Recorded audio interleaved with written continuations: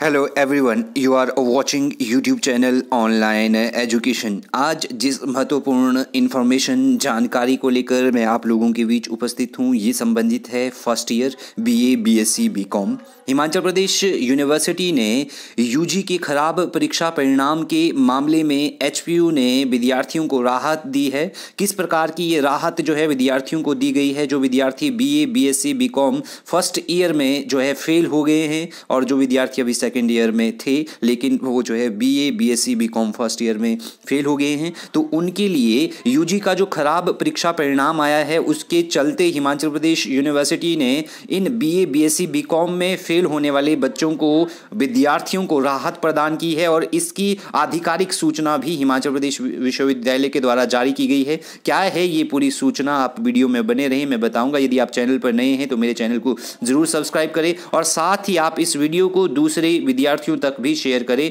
ताकि उनको भी इससे जो है फ़ायदा हो। तो क्या है ये पूरी सूचना? चलिए जानते हैं।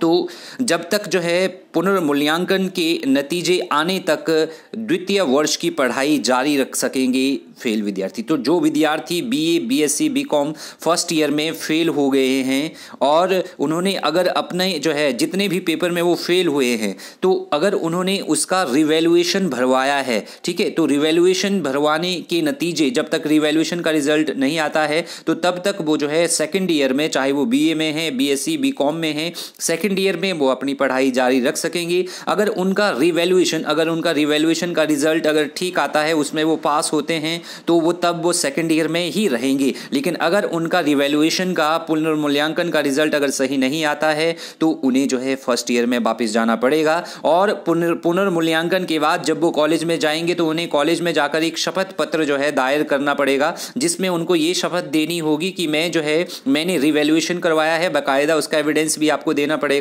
और रिवेल्यूशन के बाद अगर मैं पास होता हूँ तो मैं सेकेंड ईयर में बैठूँगा। अगर मैं फेल होता हूँ तो अगर मेरा रिज़ल्ट सेम फेल रहता है जो पहले था तो आप जो है फ़र्स्ट ईयर में ही रहेंगे। तो इस प्रकार जो है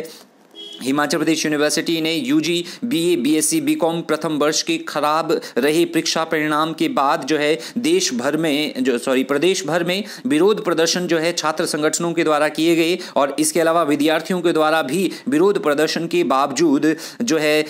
ये फैसला हिमाचल प्रदेश यूनिवर्सिटी के द्वारा लिया गया है कि अगर विद्यार्थी जो बीए प्रथम वर्ष में बी ए में बी में फेल हुए हैं, अगर वो पुनर्मूल्यांकन के लिए आवेदन करते हैं तो ऐसे विद्यार्थियों के लिए लिए प्रथम वर्ष में जो फेल हुए हैं तो उनके पुनर्मूल्यांकन के नतीजे आने तक वो द्वितीय वर्ष में अपनी पढ़ाई जारी रख सकेंगे। बाकायदा इसकी जो अधिसूचना है, वो मंगलवार को हिमाचल प्रदेश यूनिवर्सिटी ने जारी की है और ऐसे जो विद्यार्थी हैं, ऐसे जो विद्यार्थियों को द्वितीय वर्ष की कक्षाएँ जारी रखने की सशर्त, शर्त के साथ अनुमति दी है और अधिसूचना में ये साफ़ किया गया है कि जिन फेल विद्यार्थियों ने पुनर्मूल्यांकन के लिए आवेदन नहीं किया है, जिन्होंने रिवेल्यूशन के लिए अप्लाई नहीं किया है, वो विद्यार्थी जो है द्वितीय वर्ष की पढ़ाई जारी नहीं रख पाएँगे। तो ये जो शर्त है, ये उन्हीं विद्यार्थियों के लिए है जिन्होंने रीवैल्यूएशन भरा है बी ए फ़र्स्ट ईयर का और वो शपथ पत्र दायर करके जो है सेवन जो है सेकेंड ईयर में बैठ सकते हैं। लेकिन अगर उनका रिज़ल्ट ठीक नहीं आता है, वो फेल ही रहता है पहले की तरह तो उन्हें फ़र्स्ट ईयर में वापस जाना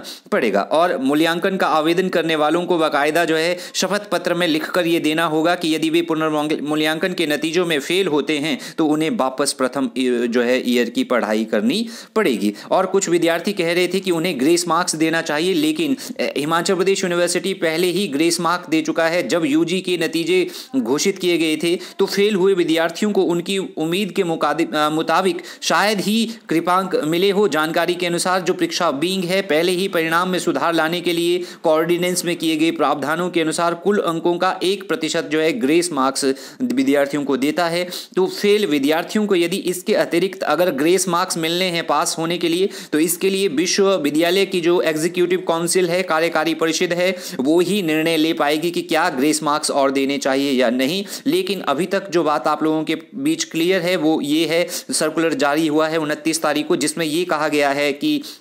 बाईस चांसलर जो है स्पेशल केस स्टूडेंट्स को जिन विद्यार्थियों जो B A B S C B com में फ़र्स्ट हुए हैं फेल हुए हैं और उन लोगों को स्पेशल केस वो जो है ट्रीट करते हैं और उन लोगों को जो विद्यार्थी B A first year examination में फेल हुए थे, ठीक है? नवंबर 2022 में जिनका रिज़ल्ट डिक्लेयर हुआ था तो उन्हें सेकेंड ईयर में कंडीशनली शर्त के साथ जो है बैठने की जो है अनुमति देते हैं। After obtaining and undertaking from that they will be reverted to first year if they fail after the result of revaluation तो रिज़ल्ट ऑफ़ रिवेल्यूशन के बाद अगर वो फेल होते हैं तो वो फ़र्स्ट ईयर में वापस जाएँगे। तो वीडियो को आप अधिक से अधिक अन्य विद्यार्थियों तक भी शेयर करें ताकि उनका बेनिफिट हो। Thank you very much